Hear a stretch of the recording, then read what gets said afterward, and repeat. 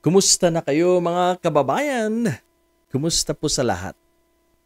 Isa naman pong uh, reaksyon mula po kay Manong Rayban uh, sa mga may init po na mga issues sa ating bayan.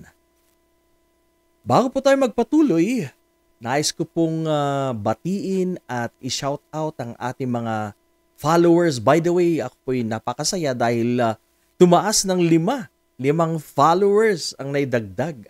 I mean, five subscribers po sa YouTube ang dumagdag. So, tayo napakasaya. Marami pong salamat sa inyong sumuporta.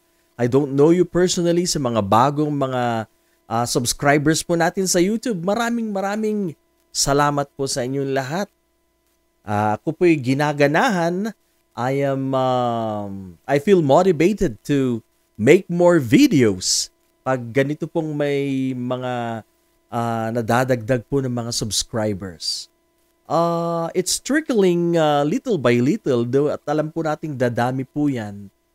At sa ngayon nga po maliit pa lang ang ating bahay pero we are just positive na darating ang panahon tataas din. Aabot, aabot din ng uh, 5,000. so yan, yan po ang target natin, 5,000. Sana naman, baka naman. Abutin natin ng 5,000. So again, sa aking mga new uh, subscribers and followers, marami pong salamat sa inyo pong uh, pagsuporta kay Manong Rayban. So again, sa lahat po ng ating mga uh, manunood, subscribers, and followers, isa pong uh, masigabong palakpakan Yan, maraming maraming salamat po. So, uh, alright, uh, pag-usapan po natin ngayon ng, uh, dahil magmalapit na po ang eleksyon, kailangan po nating i-expose tong mga re-electionist. Ito po yung pagkakataon natin bilang mga mamamayan para balikan tong mga Lalo na itong mga senador na to na walang mga ginawa kundi magpayaman, walang ginawa kundi uh, wala, umupo lang sa Senado, walang ginagawa. Nakita nyo naman yung video ni Senator Bigote na namumulutan, kumakain habang nagkakainitan yung dalawang kasama niya, his colleagues. Nakita niyo naman yung video na yan. So marami pa aside from him, hindi lang po si Senator Bigote ang i-focus po natin ngayon ang uh, dalawang uh, senador na si uh, chairman ng Committee on ano po ba tawag nila? Di Silencio si Senator Lito Lapid at si uh, Senator Bongo. Yan po ang i-focus natin. Pero as uh, days go by habang palapit po ng palapit ang eleksyon marami pa po tayong i-expose. We need to dissect Itong mga tao na to, kailangan nating ilabas ang kanilang mga kaluluwa. Dapat alam, malaman ng mga publiko ang kanilang katauhan kung ano yung mga pinaggagawa nila. Marami po sa mga incumbent senators ngayon ang dapat po hindi na po natin iboto dahil uh, hindi po sila makabayan. Sila yung mga traidor, sila yung maka-China, maka-Kibuloy, maka-Duterte. So, Huwag po natin iboto yung mga yan. But for now, i-focus lang po muna natin kay Bongo at saka kay Senator Lito Leon Guerrero Lapid. Yan. Alright. So yan. But bago ang lahat, ako po'y uh, nagpapasalamat at hinahangaan ko ang katapangan ni uh, former Senator Antonio uh, or Sani Trillanes. Yan. Hinahangaan natin po yung kanyang katapangan dahil siya po ay mga nag may mga expose siya noon at siya po ay nagkaso. Actually, kinasuhan niya si Harry Roque. Alam naman po natin yan. Kinasuhan niya si Banat Bay. Yan. Banat Bay pala. Lagi po ako nagkakamali dyan. At lately, kinasuhan niya, nag-file po ng kaso laban kay uh, ano po, uh, former President Digong Duterte at Bongo. Yan nga po ay uh, talagang tiniming niya ngayon dahil wala ng immunity, wala na sa kapangyarihan si uh, Digong Duterte. Kaya yung po mga nagsasabi, ulitin ko na naman, bakit? Why now? Bakit ngayon lang siya nagkaso? Rin sinasabi ni Bongo, rinicycle lang daw ang uh, you know pagkakaso na to sa kanya. Well, this is the right time because the former president has has no more immunity unlike before. Wala kang kalaban-laban kay Duterte dahil siya ang uh, Diyos, siya ang hari. Sino naman ang uh, maglalakas loob na magkaso sa isang hari o Diyos? Wala. Walang mangyayari sa yung kaso na ipapataw mo laban sa kanya dahil siya po ay nakaupo during that time. Kaya ito na po ang uh, the best na panahon para habulin ang former president. Yan. Kasama na dyan ng dakilang alalay. Taga bigay ng kape siguro. Taga bukas ng pintuan ng sasakyan, dakilang alalay yan. Dahil magre-re-election tong mga to, especially po tong dalawa na to, dapat uh, i-expose po natin sa publiko kung ano po yung mga kung may nagawa nga ba sila na talagang para sa bayan nga talaga. Alam nyo, para po sa akin, ah, yung mga malasakit centers na yan, ngayon lang nila inaano yan, ngayong papalapit na naman ang election, ngayon lang binubuhay. Pero noong kalagitnaan, wala. Wala naman yung malasakit centers na mga yan. Hindi naman actually, ano, uh, malaking bagay na nakakatulong sa ating mga mamamayan, sa ating mga kababayan.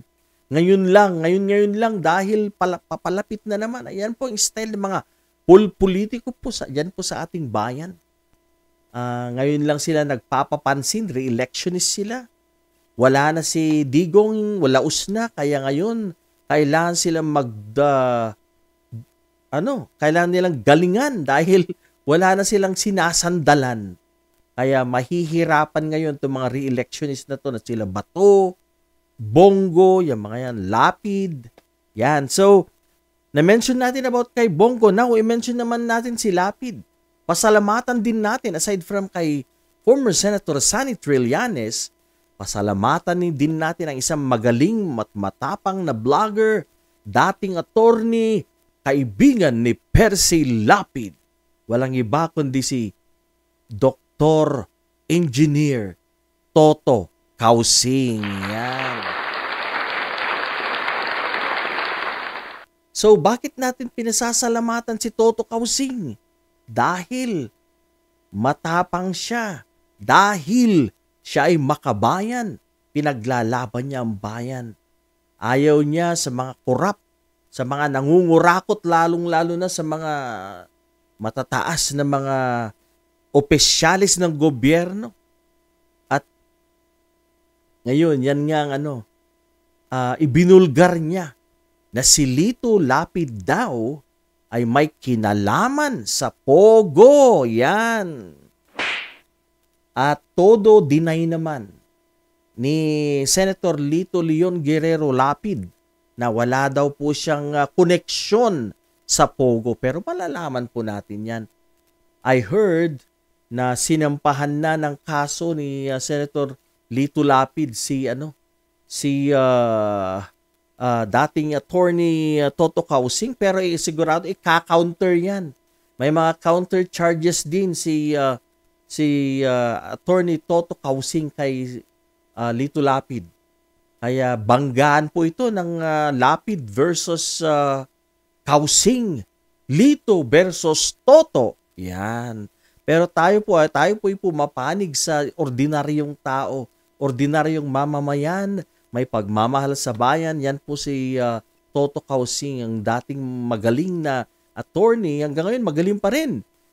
Attorney Toto Kausing, yan. So, yan, nagpapasalamat po tayo dahil nga sa kanyang expose. At ngayon, ma, ma-unmask, mahuhubaran itong mga tao na to natatakbo na naman sa pagkasenador sa 2025. Dapat lang uh, mag-decide, mag-isip ang, mang, ang taong bayan. Dapat lang na uh, itigil na natin yung kalokohan na yan na nagpapadala sa limang daan, isang libo. Itigil na natin kalokohan yan. Yan po mga binoboto natin, yan po sila po ang nagpapahirap sa ating bayan. Kaya ganyan na po kahirap ang ating bayan sa ngayon. Pinagpapalit nyo ang uh, ano, uh, sa halagang 500 pesos Isang kainan lang yan. Wala, ubus na. Eh sila, uupo sila ng ilang taon. Alam niyo po, ngayon ko po lang nalaman na ang, ang sahod pala ng ano, napakalaki pala. Nakakalula. Almost 2 million or 2 million pesos ang sahod ng isang senador. Marami sa kanila mga aside from wala nang ginagawa sa Senado, mga useless na mga senadores o mga opisyalis ng gobyerno. May mga pa-kickback-kickback pa sila. May mga racket pa yung mga yan. So, marami po mga kalukuhan to mga to kaya dapat wag na po nating iboto. Ako po, kinakampanya ko po yan sa taong bayan at ikakampanya ko pa rin dahil uh, next year pang election. Babanatan po natin yung mga senadores, mga tatakbo, re-electionista na alam po nating uh, may bahid ng korupsyon, maka China, maka Duterte, maka Kibuloy, dapat po yan. Huwag na po nating palampasin. Dapat ilaglag natin yung mga yan. Hindi po sila karapat dapat. So uh, lately po, ito nga uh, kinasuhan ng plunder ni Senator, former Senator Trillanes, uh, tungpong uh, uh, magkaibigang taga Davao. Walang iba si Digong at si Bongo. Tapos sabi naman ni Bongo ang may reaction po siya. Sinasabi niyang uh, oo, rini-recycle lang niya. Well, of course.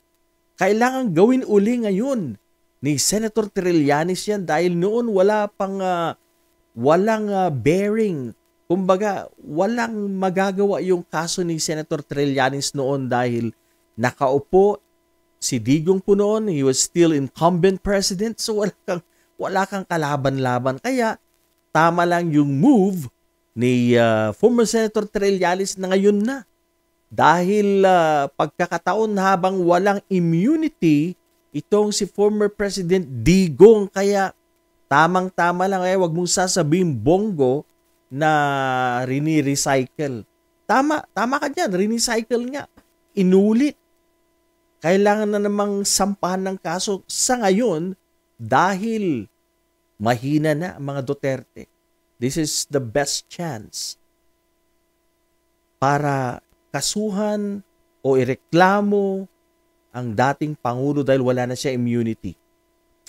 At ito nga ay tungkol po sa mga projects-projects na yan. Dahil malapit nga po si Bongo kay uh, President Digong. Kaya yan po yung mga balita, mga may pruweba, kapal ng papel na ipinakita ni Senator Trillanes na itong mga projects na naipasa sa pamilya ni Bongo at sila'y nakinabang at alam nilang pati rin si Senator nakinabang din dahil kapamilya sa ama ni uh, Senator Bongo. Kaya ano po yan na nanili, naniniwala po tayo na ito ay uh, uh, merong ang uh, yun nga probable cause.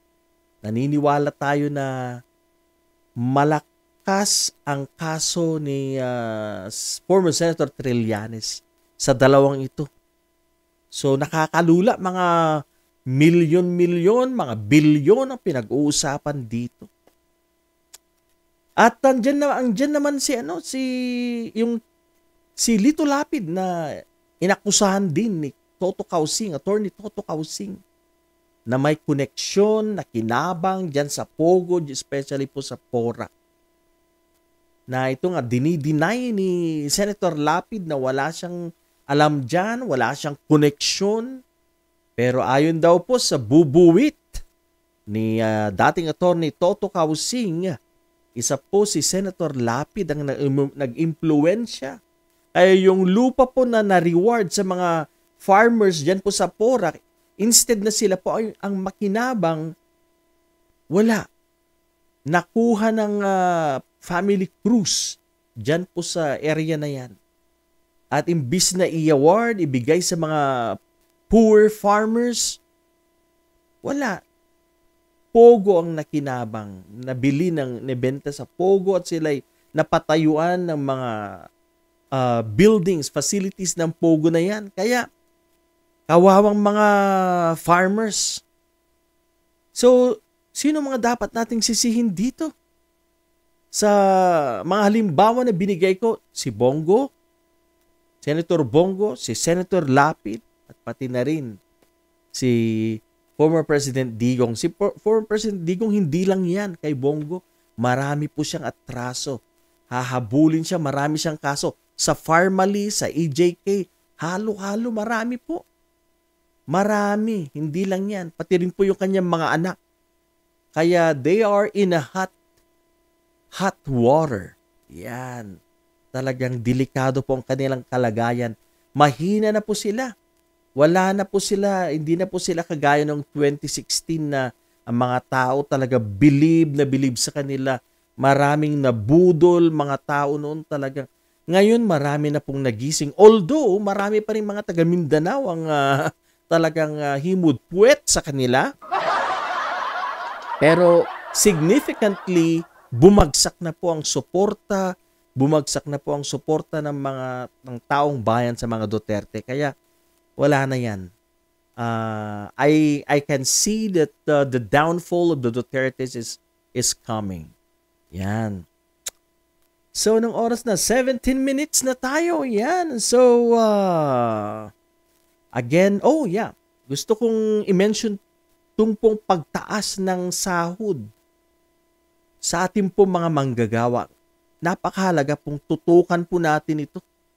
Pagtaas ng sahod. Alam niyo po, tumaas ng 35 pesos. Yan lang po ang itinaas ng sahod. Alam niyo po itong ating mga workers, you know, ang hirap ng buhay, sila po ay apektado. Lalong-lalo na po sa ating mga typical Filipino workers na hindi naman kalakihan ang kanilang sahod. Nadagdagan man, pero 35 pesos lang. Alam niyo po, kaya ko po minention po ito dahil gusto ko po i-connect sa issues ng korupsyon pandarambong sa Pilipinas. Ang mga empleyado, ang mga workers, hirap sila na makakuha ng increase or pagtaas ng sahod. Itong mga buhaya na to, napakadali lang nilang magnakaw sa kaban ng bayan at bilyong-bilyong nakakalulang pinag-uusapan dito. Samantalang tong ating mga kawawang workers, hirap pa sila, hindi pa nila makuha yung 100 pesos or 150 pesos increase. Ano ang inaprubahan sa kanila? 35 pesos.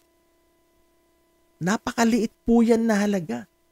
Sa ngayon, wala na po yung mabibili. Toothpick na lang po siguro. Baka alanganin pang ano, may Pambili ng toothpick yan.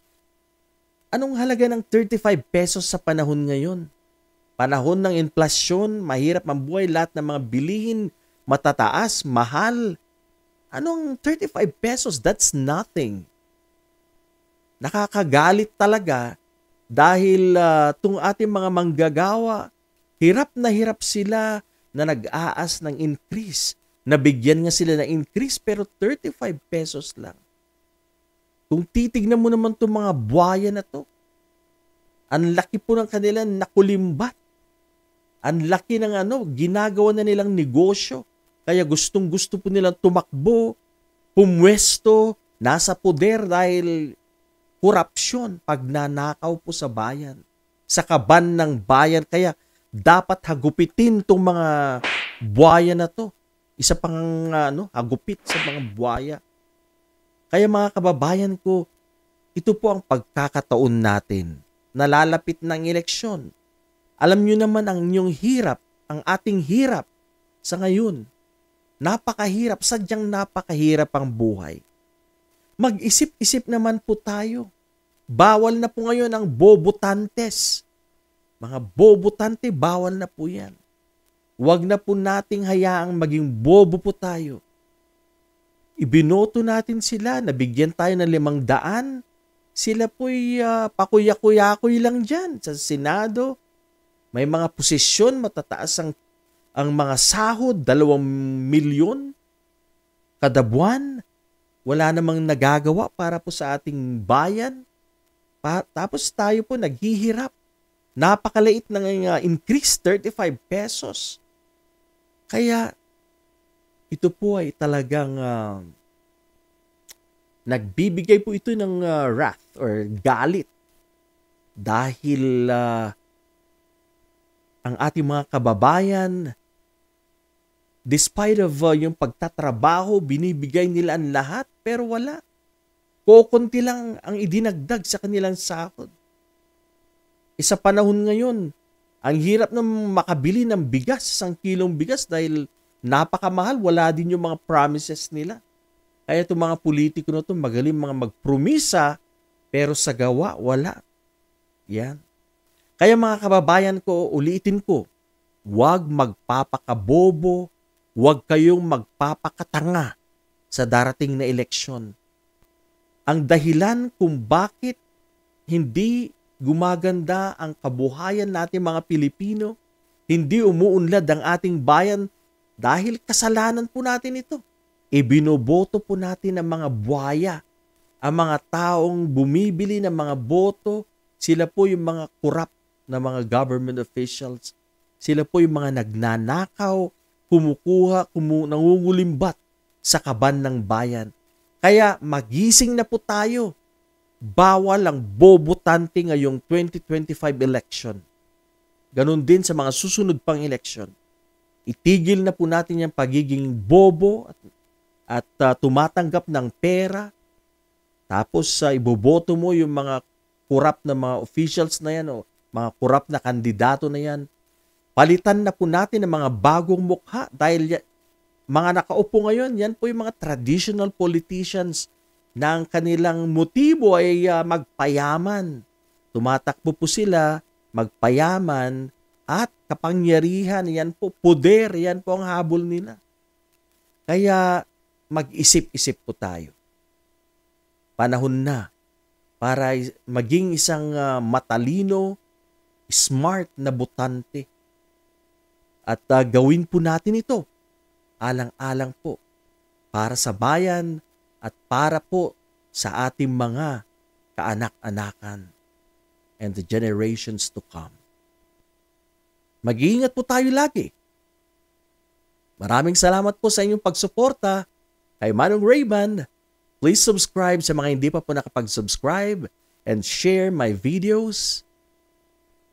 Maraming maraming salamat.